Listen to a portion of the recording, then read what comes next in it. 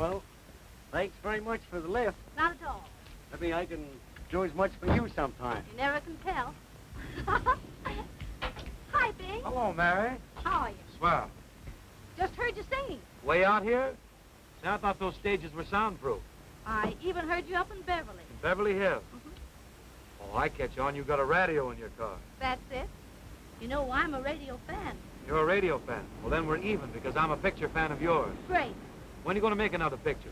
I came down to work on the story today. You're writing the story? Yes. Say, you couldn't find a part in there for an old broken down singer, could you? Absolutely. Well, you take care of me and I'll take care of you on the radio. Now that's the bargain. So,